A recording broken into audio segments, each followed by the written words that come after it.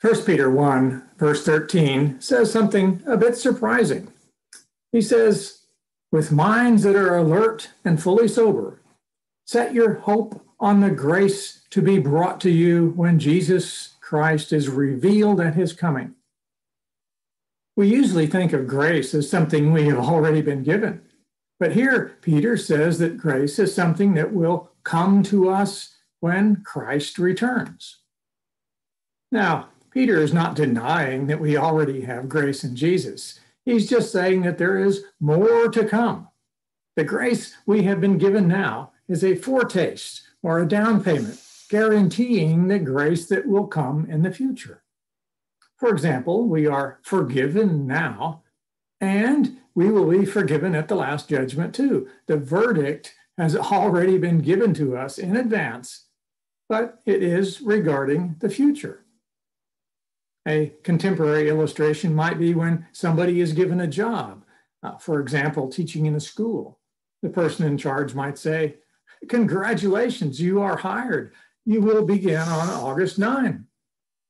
Even though August 9 may be several months away, you have nevertheless been hired. You can say that you have a job, even if you aren't working at it right now. Similarly, we can say that we have been forgiven. It's referring to the last judgment when Christ returns, but it is also experienced now. It's as good as done because God has told us so, and God keeps his word.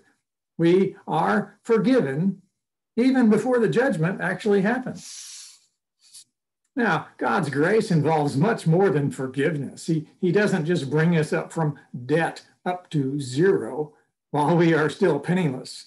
No, he adds much more than forgiveness. The Greek word means, uh, the, the grace means gift, and we have already been given spiritual gifts, but we will be given much, much more in the future.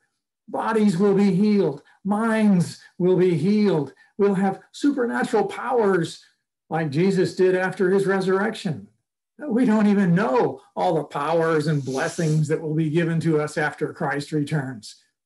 So Peter says we should set our hope on this future grace. And in the meantime, in that hope, we should be alert and sober. As he says in verses 15 and 16, just as he who called you is holy, so be holy in all you do. For it is written, be holy because I am holy.